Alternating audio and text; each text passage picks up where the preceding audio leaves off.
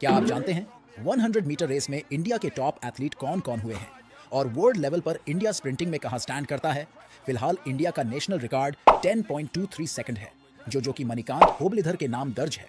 उससे पहले 2018 में यह रिकॉर्ड 10.25 सेकंड की टाइमिंग के साथ अमलान बोरगोहेन ने बनाया था। अमलान बोरगोहेन ने अमिय कुमार मलिक का नेशनल रिकॉर्ड तोड़ा था, जो कि 2016 में अमिय कुमार मलिक ने 10.26 सेकंड की टाइमिंग के साथ सेट किया था। उससे पहले 100 मीटर का नेशनल रिकॉर्ड अनिल कुमार प्रकाश और अब्दुल नजीब कुरेशी के नाम पर 10.30 सेकंड की टाइमिंग पर सेट था। अनिल कुमार प्रकाश ने 100 मीटर रेस 10.21 सेकंड की टाइमिंग की भी लगाई थी, लेकिन डोपिंग चेकिंग एब्सेंस के कारण उसे रिकॉर्ड में नहीं गिना गया था। फ़िलहाल 100 मीटर का वर्ल्ड रिकॉर्ड 9.58 सेकंड है, जो कि उसैन बोल्ट के नाम दर्ज है। आपको क्या लगता है कब तक इंडिया 10 सेकंड के बैरियर को तोड़कर वर्ल्ड स्प्रिंटर्स को टक्कर दे देगा?